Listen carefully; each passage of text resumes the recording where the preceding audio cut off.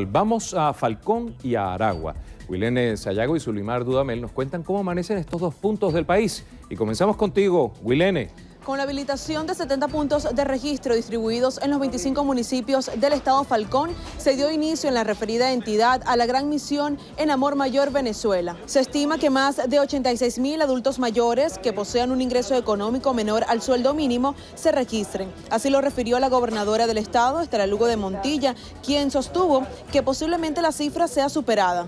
El registro se realizará de lunes a viernes según el terminal de cédula y los días sábados atenderán todos los números. El único documento a consignar será la cédula de identidad. Desde el Estado Falcón para el Noticiero Benevisión, Wilene Sayaco, Sol Televisión. En el de Aragua, donde instituciones estatales dieron inicio al registro de la gran misión Amor Mayor Venezuela con el despliegue de unos 48 puntos de control con los que estiman inscripción de unas 2.000 personas diariamente. Cabe destacar que esta misión se mantendrá en proceso de captación hasta mediados del mes de abril para posteriormente chequear la data de inscritos y así dar paso a lo que es la asignación de esta ayuda que alcanzará un sueldo mínimo. Es la información que manejamos por el momento desde el Estado Aragua.